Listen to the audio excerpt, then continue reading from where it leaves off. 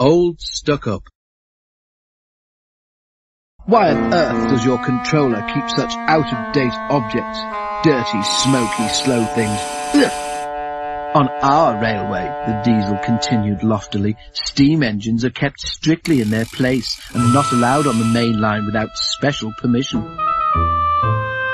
BoCo, who was showing the diesel round, lost patience. Stay outside then if you're so proud about it, he said crossly. I'm going to join my friends. I hope it's cold tonight and he can't start in the morning, snorted James. At least someone might want to preserve us. Who'd need him, old stuck-up? The engines were glad when morning came. They went to fetch their trains as early as they could, and the visitor was left alone. That's better, he purred to himself. How can an engine rest in all that hissing and clanking? When the other engines came home, they heard the story from Douglas, who had cleared up the mess. Ho, ho, ho, chortled Henry. Old stuck-up came unstuck, did he? I say, BoCo, what is it the Fat Controller calls you? Versatile, chuckled BoCo. But that isn't what he called stuck-up.